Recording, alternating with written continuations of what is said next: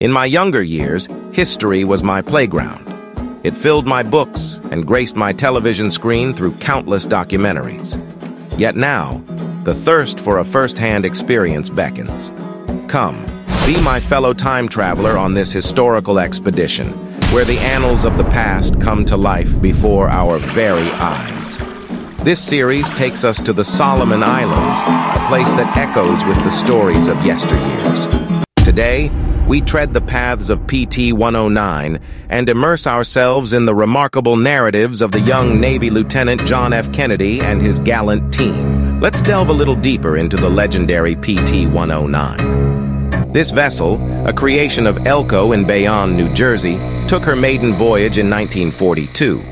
Embarking from the Norfolk Navy Yard on the SS Joseph Stanton, she ventured to the Solomon Islands and set her anchor at Tulagi.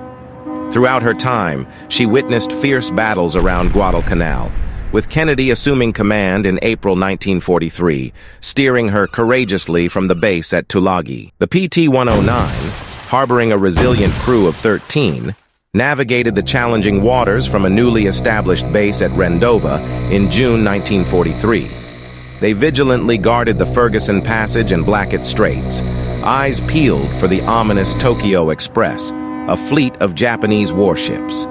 The date of August 1, 1943 marked a crucial mission where 15 PT boats embarked on a journey to disrupt the Japanese supply chain on the island of Kolombangara. Caught in the cloak of darkness and fog, with visibility reduced to a mere whisper, PT-109, alongside PT-162 and PT-169, remained stationed further from Rendova, unaware that their comrades PT-159 and PT-57 had engaged with Japanese destroyers and retreated towards Gizo. The calm before the storm was shattered in the early hours of August 2nd. Amidst the moonless night, the Japanese destroyer Amagiri, hastened at a speed nearly touching 40 knots, was bearing down on them. Despite the efforts to remain undetected, PT-109 could only manage a mere 10 seconds to react before a catastrophic collision ensued, splitting her in half in a devastating inferno. As the fiery waves engulfed the vessel, two brave souls, Kirksey and Marney, succumbed to the furious flames. From a vantage point high in the hills of Kolombangara, the solitary witness, Australian coast watcher Reg Evans, absorbed the horrific sight convinced no soul could have survived the onslaught. But the spirit of resilience thrived amongst the 11 survivors, clinging to the remains of PT-109's bow, drifting amidst the perilous sea for hours unending. Realizing their precarious situation, Kennedy orchestrated a daring escape to the distant Plum Pudding Island, leading the severely wounded McMahon to safety with the sheer strength of his jaw clenching onto the life jacket straps. In this untouched islet, now proudly renamed Kennedy Island, they found a brief sanctuary, devoid of sustenance,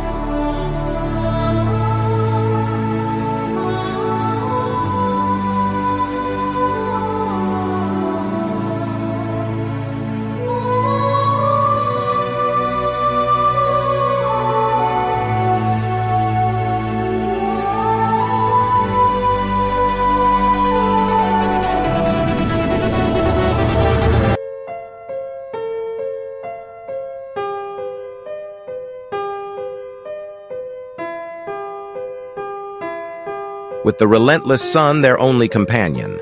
Their tale of survival continued as they ventured to Olasana Island, sustaining on coconuts and captured rainwater, all while evading enemy sights. Kennedy's relentless spirit drove him to further explore Naru Island, where fortune smiled upon them in the form of abandoned supplies.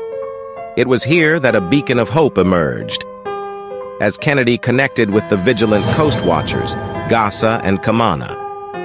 Through ingenuity and courage, they managed to convey their whereabouts through messages carved into a coconut and penciled notes. After a perilous journey, assistance finally reached the marooned crew on Olasana Island, bringing much-needed supplies and a promise of rescue.